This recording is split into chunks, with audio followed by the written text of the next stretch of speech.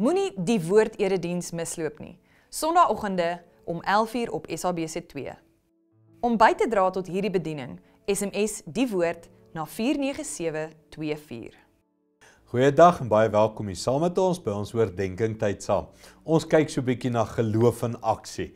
En wat beteken dit regtig om te glo in dae soos vandag, tye soos hierdie waarin ek en jy leef. So kom ons gaan kyk daar in Hebreërs 11, natuurlik die bekende hoofstuk oor geloof. Hy sê Hebreërs 11 vers 1: Wat is geloof dan?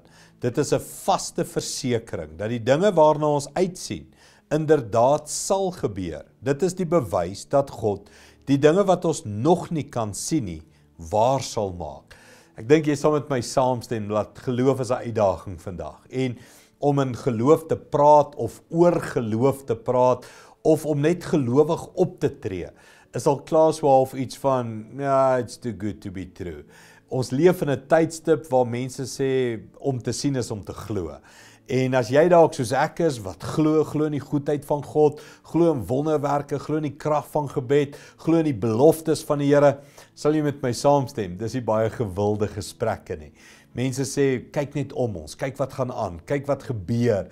Hoe kan jy nog glo? Waar is die Here? Hoe laat hy hierdie goed toe? Wanneer gaan die Here optree?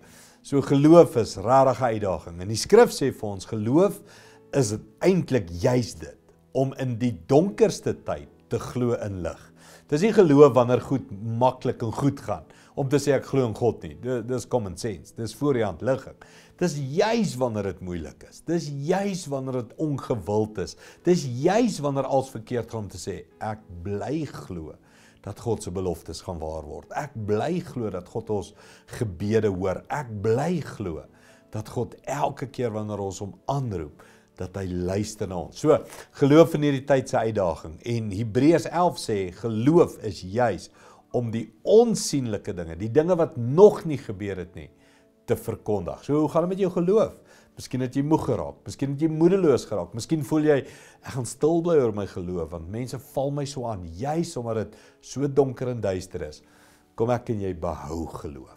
God is 'n waarmaker van sy woord. Elke belofte is ja en amen. So kom ek en jy behou geloof in hierdie moeilike tye. Kom ons bid saam. Hemelse Vader, ek bid sodat U ons sal versterk. Versterk in ons geloof, juis in die moeilike tye. Geloof is maklik as alles goed gaan, as alles werk. Dis juis die uitdaging wanneer dit moeilik is. En daarom kom ons en sê versterk ons geloof dat ons juis in 'n tyd soos nou sal sê ons glo. Dankie daarvoor Here in Jesus naam. Amen. Goed gaan, sien jou weer.